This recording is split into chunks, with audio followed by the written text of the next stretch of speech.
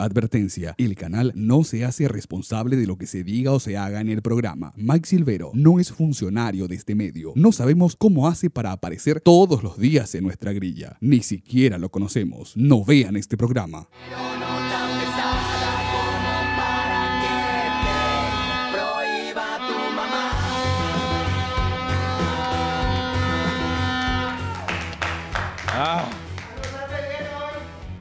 Buenas noches. Bienvenidos, bienvenidos a Silvero, este programa que no es periodismo, pero que de algún modo informa, opina y se ríe y permite que pasen el rato sin complicarse tanto la vida con las noticias. Hoy es un día muy especial, hoy es el día del periodista, así que vamos a contarles qué es y qué no es desde nuestro punto de vista, por supuesto, ser periodista. Una profesión hermosa que lo mismo le permite a sus licenciados dar noticias, eh, que contarle a los clientes en la lomitería en la que trabaja. La nueva promo también de lomito con papas y con coca. Lleve esa promo, señor. Señor, le sale mejor así. Así es mejor si llevas, o no. Pero esto les vamos a contar después, porque primero vamos a ir con las noticias. Este es el momento de nuestro segmento denominado El Triple más dos.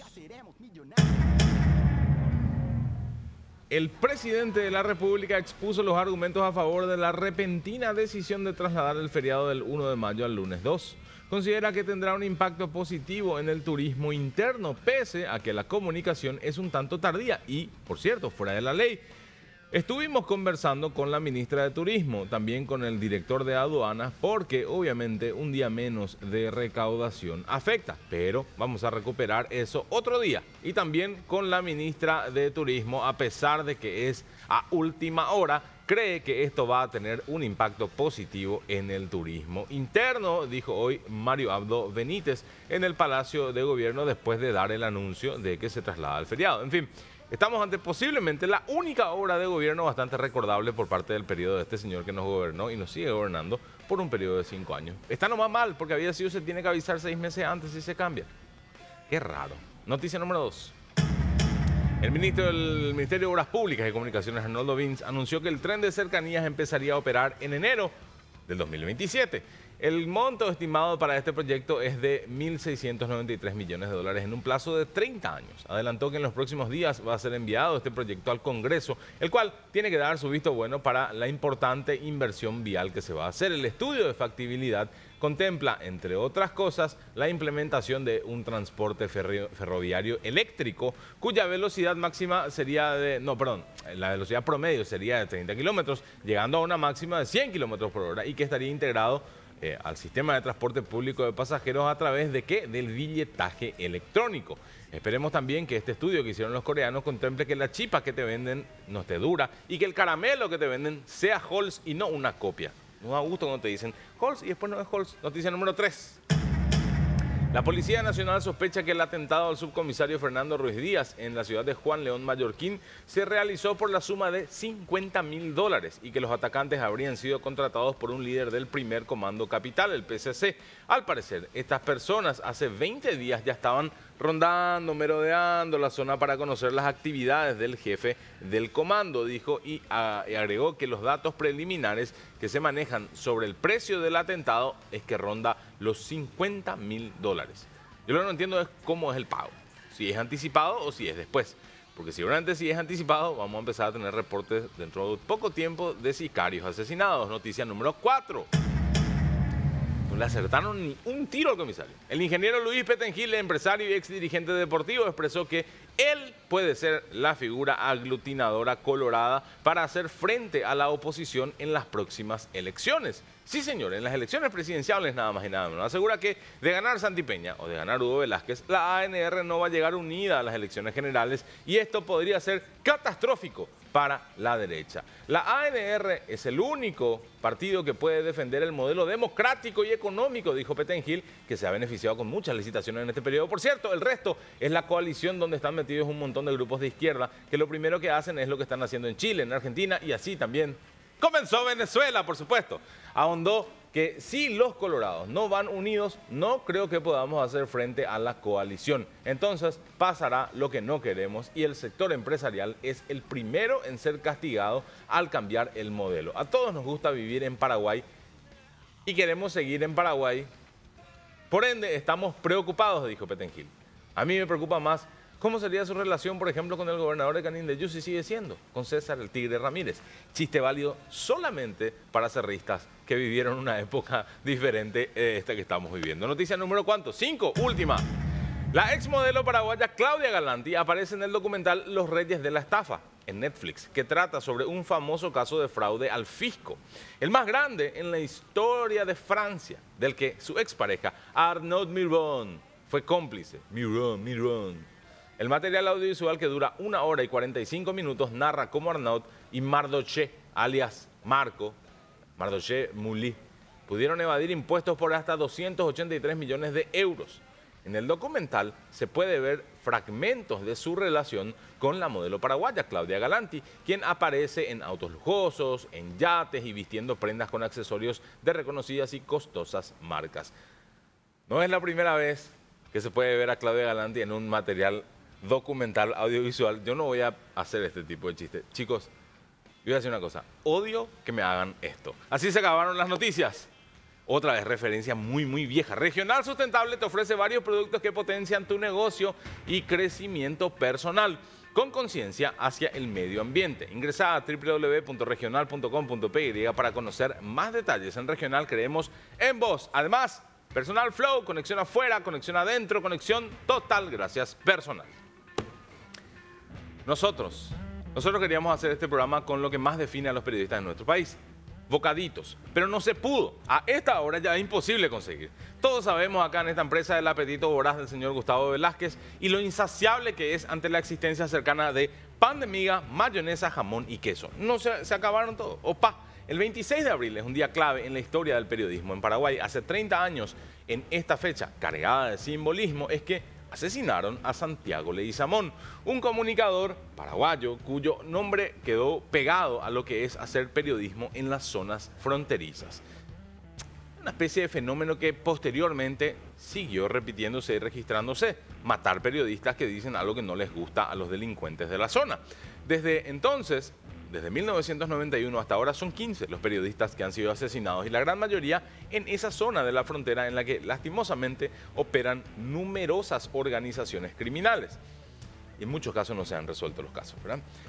Valga la redundancia, pero la fecha de recordación tiene relación con la publicación del primer ejemplar de lo que era El Paraguayo Independiente en 1845, un periódico que si existiera hoy tendría que estar publicando huevadas en Facebook o haciendo encuestas pelotudas en Twitter para tener un poquitito de tráfico y que eso le represente visitas y así alguien después termine pautando, o sea, poniendo plata y teniendo ingresos para pagarle a los periodistas por su trabajo. Pero ya no está, ya no existe. El periodismo es caro. El periodismo es caro realmente. No es así de esos negocios que Vos poner la fachada, le pagas un sueldo mínimo a un par de chicos y ya funciona. No, señora, eso es un bis. El periodismo es caro porque realmente lleva mucho tiempo para hacer, si se va a hacer bien. Caso contrario, puede ser más barato, pero termina siendo previsible, repetitivo, anodino. Un poco como el 80 o 90% de las notas que vemos publicadas en los digitales y, por qué no, a veces decirlo también en los periódicos impresos. Y sí, es la realidad. En este trabajo, este trabajo implica escarbar, buscar, revelar información que alguien oculta, algo como lo que hicimos en Silvero para ver que en la celebración del Real Betis, después de ganar la final de la Copa del Rey, el goleador Borja Iglesias se acordó de este bendito país. Bueno, y en directo para el plan, las primeras declaraciones de Borja Iglesias tras ganar la Copa del Rey estábamos tomando tranquilamente ahí en la jurisdicción de Surtidor y yo le dije justamente, vámonos a irnos a casa ya, hora de ir a descansar, que mañana es día laboral. Y el personaje me dijo, vamos a irnos, pero vamos a irnos como yo quiero, me dijo. Quiso pasar entre 60 y entre 80 kilómetros hora y voló y me hizo volar. Y yo volé el pro de la escala volada.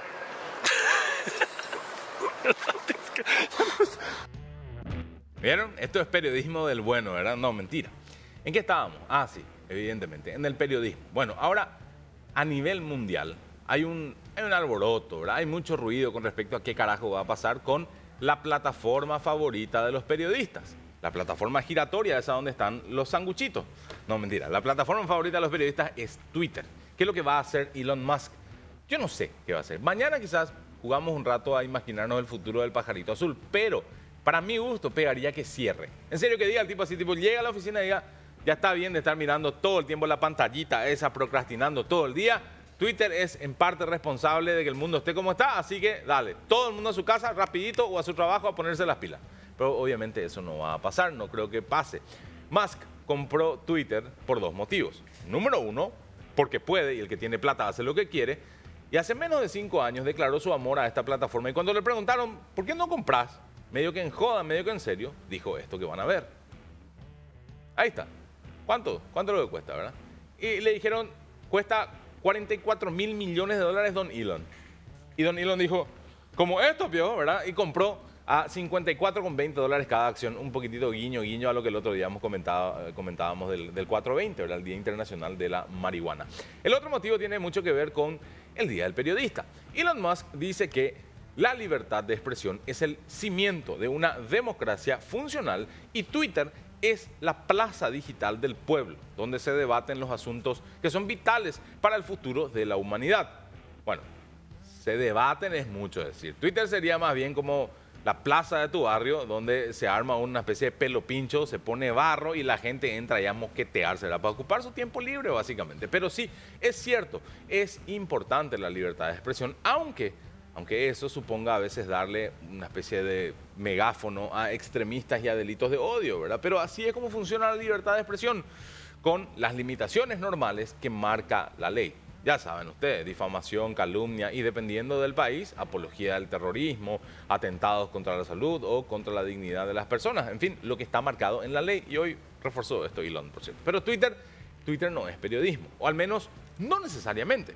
Puede servir como un vehículo a las ideas, pero no debe ser lo que genere esas ideas. El director ejecutivo del New York Times es un tipo que se llama Dean Baquet. Dean Baquet, pues claro, Claro que no se llama Gustavo Velázquez, ponerle, ¿verdad? porque no le gustan tanto los sanguchitos como a Gustavo. Dimba que dijo hace poco en un memo a todo su plantel, che, los perros, que tal vez sin menos Twitter y más reporteo, pero en sí, en serio, tiro, dejen de boludear tanto ahí y salgan al mundo real, o al menos vean otras plataformas a ver qué está pasando. Y eso es un poco porque hace años que se ve que en Twitter se estancó el agua no crece el nivel de usuarios, pero sí crece la toxicidad. Es un poco como el lago Pacaraí o como una letrina a la que no le entra agua nueva. Es mierda de diferentes colores, pero al final es mucha, mucha mierda, ¿verdad? Entonces, eso es Twitter hoy día. Si alguien está viendo esto y a partir de acá dice, ah, a mí me interesa estudiar periodismo, por favor no lo hagas. Por favor, lo primero, no lo haga. Esto que hacemos nosotros acá tiene de periodismo muy poco, tiene gotitas, ¿verdad? Y tampoco pretendemos vender lo contrario, no, no es así. Si fuera así, nuestro director y guionista sería un periodista y no un psicólogo frustrado, fracasado y actor mediocre que continuamente hace referencias a sí mismo en el guion de este programa para llamar un poquitito la atención. Hacemos tan poco periodismo que el año pasado, por el Día del Periodista, el canal, este canal en el que trabajamos, Gen, hizo un video y ni siquiera nos incluyó, ¿verdad? Eso, eso sí, lo que tiene este programa es mucha base de periodismo. Es decir, los reportes que nosotros les presentamos, en su mayoría, son compilaciones de buenos recortes periodísticos. Y sin esos buenos informes, no podríamos hacer estos malabares que hacemos nosotros acá, estas monerías, para que ustedes se rían un poco y a la vez se informen sin tomarse la vida tan en serio, ¿verdad? Como un noticiero de verdad. Pero, en serio, si estás viendo esto y tenés a alguien cerca que quiere estudiar periodismo, Llama al 911, evítalo, mandale a un lugar que le traten. Si podés evitarlo, pero está bien. Si quiere hacer, está bien, es su futuro, pero como consejo, no estudies solo periodismo. Aprender sobre finanzas para poder, por ejemplo, emprender. Aprender sobre programación para poder conversar con esos nerds que son los programadores en su idioma. O aprender algo de diseño para entender cómo funcionan las cosas. Eh, y qué color de corbata ponerte, ¿verdad? Aprender sobre herramientas técnicas, las cámaras, cómo funcionan, para entender de qué se trata. No es entender una herramienta, es entender conceptualmente qué se puede hacer con el periodismo. No basta con contar una historia ni descubrir un escándalo de corrupción. Con eso no es suficiente. El día que eso pase, quizás podamos tener un mejor periodismo incluso. Podamos tener menos precarización laboral, porque es raro los medios y los conglomerados de medios de comunicación le cobran a una marca por salir en la radio una parte, por salir en la tele otra parte y le cobran otra parte por salir en el diario. ¿No sería lógico que los periodistas también cobren así por parte y puedan ir sumando? Y puede ser, ¿verdad? Pero para eso y para que eso pase, necesitamos también más medios en manos de más periodistas que generen estas discusiones. Porque si no, no se va a dar. Se suele decir que ser periodista es la manera más divertida de ser pobre. Y eso es mentira. Por dos motivos. Uno, hay gente que no es pobre en el periodismo. Para nada. Y se podría saber con mayor detalle cuánto tienen si accediéramos públicamente, por ejemplo, a cuánto pagan en impuestos. ¿Y cómo hacen para tener las casas, las mansiones, los autos y la vida que llevan? Y alguien va a decir, ay, qué envidioso este Mike. Sí, claro que sí, hace 15 años trabajo en esto, déjame de ser envidioso. Pero ahora un poco, ¿podés justificar tu lifestyle siendo periodista nomás?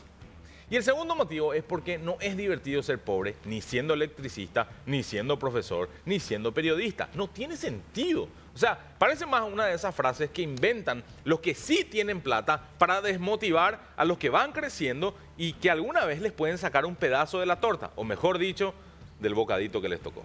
Muy feliz día del periodista. Así arranca esta edición de Silvero, venimos enseguida. Precarización laboral estábamos hablando y decidimos que el trabajo de un periodista lo haga otra persona, claro, por pedido de recursos humanos, pero sí, este es el momento del corresponsal extranjero.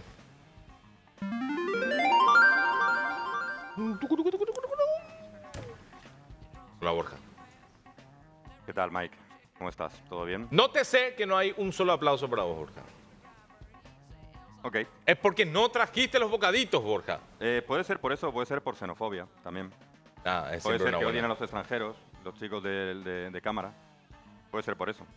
Porque, Sí. ¿Por qué vas a tener que ser los bocaditos? Sí, puede ser. Puede ser que por eso hayan rajado a Chile, que era anteriormente también nuestro... Muerta a estamos. Chile, muerta Chile. Borja, ¿Cómo ¿qué- estás, Mike Silvero? Eh, podría estar mejor, pero es el día del periodista, así que decidiste salir vos a hacer el trabajo de un periodista, a, a reemplazar, a sacarle el pan a alguien por- para, porque sí. Pero ¿sabes lo bonito? Lo bonito es que a partir de esto podemos trabajar para que exista un Día Internacional del Intrusismo Laboral. Ah, puede ser. Claro. Ah, Puede ser. Bueno, ahí los paraguayos tendríamos... Pero Ah, está bien. habría mucha gente enojada con nosotros. Salí a la calle eh, porque siempre decimos el corresponsal extranjero, pero no soy ningún corresponsal, no hago nada, nunca salgo a la calle. Ujú. No, lo- Entonces- no, nada, está bastante evidente, pero eh, salir a la calle es una, una Entonces, parte nueva. pues digo, me tendré que ganar mi salario de algún modo. Voy a salir a la calle y voy a entrevistar gente para ser el corresponsal extranjero. Tan extranjero, tan extranjero, tan extranjero, que me inventé un, un medio de comunicación, eh, Radio Televisión Madrileña Internacional, para entrevistarle a la gente Borja. sin que supieran quién soy, para, Eh. que, para que no digan, ah, tú eres el de Silvero, el pelado ese de Silvero, Eh, tal, porque ese- ya ha corrido la voz. Borja, es el día del periodista, es una afrenta para nosotros. te. Sí, pero yo no soy periodista. Yo no tengo que No. cumplir ningún tipo de código deontológico de nada.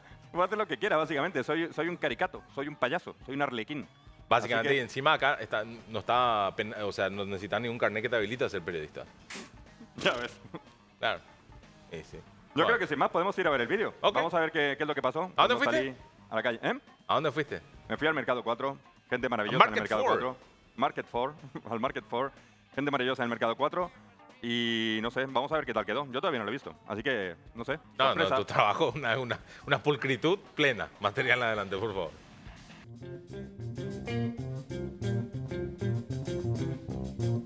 Buenas tardes, Mike.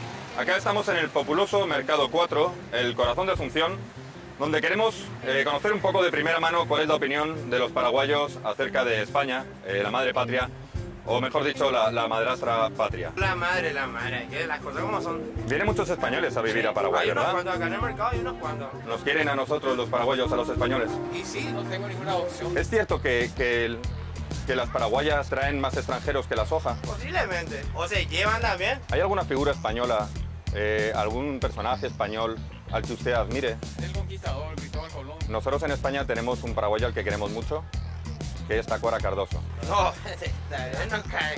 Hay bastante loco, o sea, no, sí, porque falló contra usted, era el penal, por eso. Entonces le teníamos nosotros acá, viejo, eso no nos olvidamos eso. Sí, fue un poco por eso, porque... Ah, sí, sí, por eso usted está usted feliz con él, ¿verdad? Ya. Para mí que no hay que acordarse de lo pasado. Muchos paraguayos también se fueron a España a. No queremos hablar del gol que le anularon, fue, fue fuera de juego, fuera de juego posicional. Mira, Intent- Seguimos, seguimos, seguimos. Damos gracias a Dios de esta entrevista, saludable. Amén. Esto es como el metaseñor. El, el señor habla del señor y yo hablo con el señor que habla del señor. Yo desde que llegué a, a- a Paraguay me han, me han dicho como muchas cosas en, en guaraní que yo no entiendo guaraní. Una es de tabucho, De tabucho, ¿qué? de, tabu, de, tabus- de tabucho y acapenó. Eh, acá pelado quiere, decir que está pelado. pelado quiere decir algo, pero... Y- De tabucho quiere decir loco. El loco pelado. La grosería más grande que se puede decir acá en Paraguay. Añaraco. Añaracó el culo de una señora mala. Todo relacionado con el ano y con la cabeza. Esta es la cultura paraguaya, están diciendo Hijo mucho. del diablo. Hijo del diablo. Ok, es la tercera versión que tenemos de esta palabra. Somos más atractivos los españoles que los paraguayos. Más o menos. Más o menos. Eso es un sí. Sí, eso es, es cierto. ¿Cuál es el encanto de la paraguaya? Es cierto que son más sumisas que las extranjeras. Exacto. No podéis decir que son más sumisas porque no son más sumisas.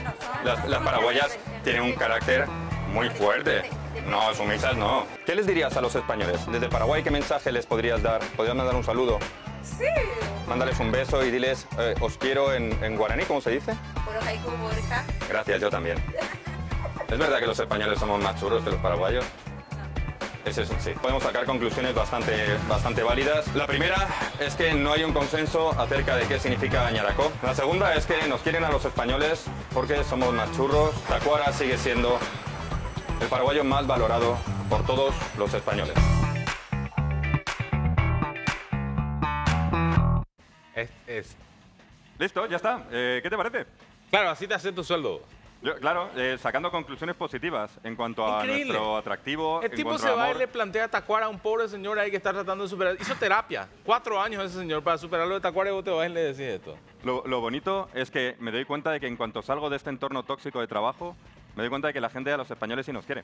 A lo mejor la opción es que sí que queréis a los españoles, pero, pero excepto a mí.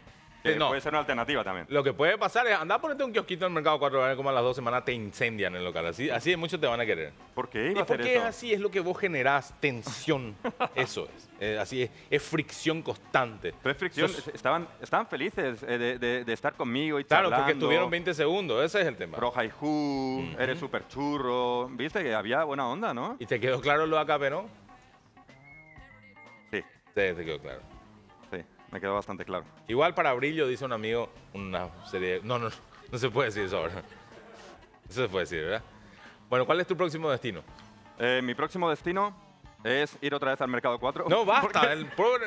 Es que les caigo bien. Eh, ha ido Sí, buena pero onda. esta- ahora van a saber que era una mentira, que no era un canal español, que era un canal Nadie de en, el acá. merca- nadie en el Mercado 4 ve este programa, Mike.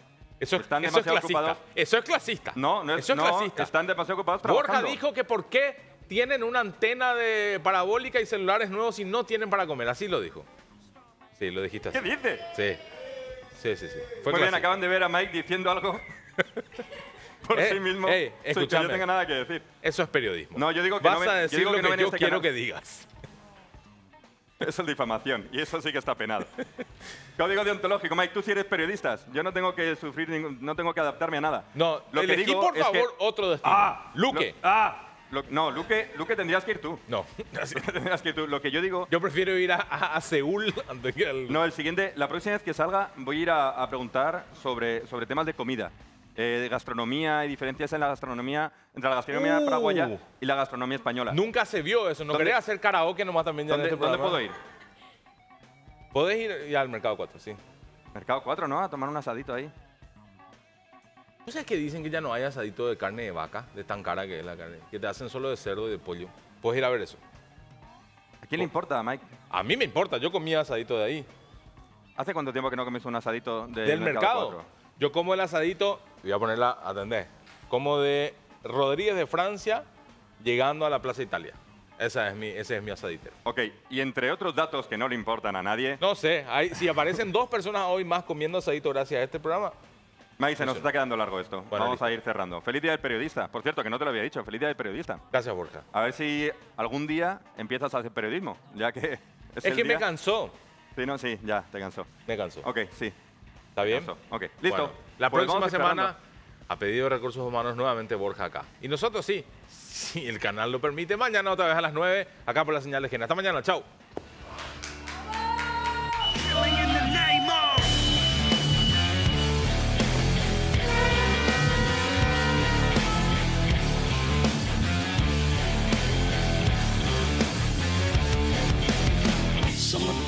Work forces are the same that burn crosses.